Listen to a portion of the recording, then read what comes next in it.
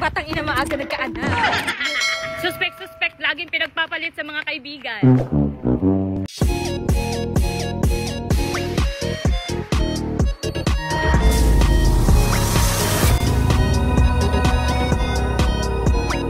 Suspect, suspect, batang ina maaga nagkaanak.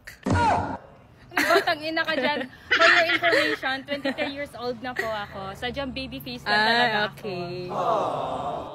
Suspect, suspect, laging pinagpapalit sa mga kaibigan. Walang personalan. Suspect, suspect, di marunong maggaba ng panty. Uy, Gogi. Wag mo, wag mo ko pinapahiya dyan, Gogi ka. Pag na-turn up sa Totoo akin, naman, sinabi ah. ko, Baka di ako pakasalan nun, Gogi ka. suspect, suspect, di nag-aahit ng bulbol. Di nagkaanak. Pa, gantihan lang to.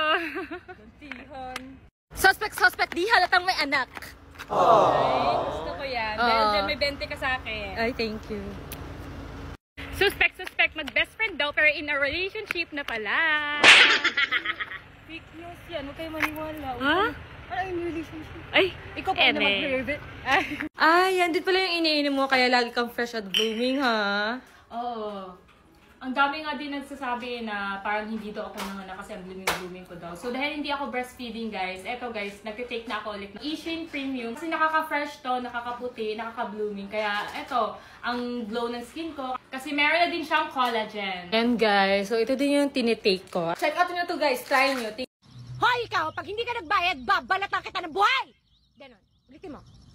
What she said. Hindi, lagyan mo ko What she said. Hindi, parang ganito. Hoy, kininginingininginingininginingining mo! Kung hindi ka magbabayad, tatadyak ako yung tuhod mo! Ganon. Kiningininginingininginingining Kumanta mo. siya, kumanta siya.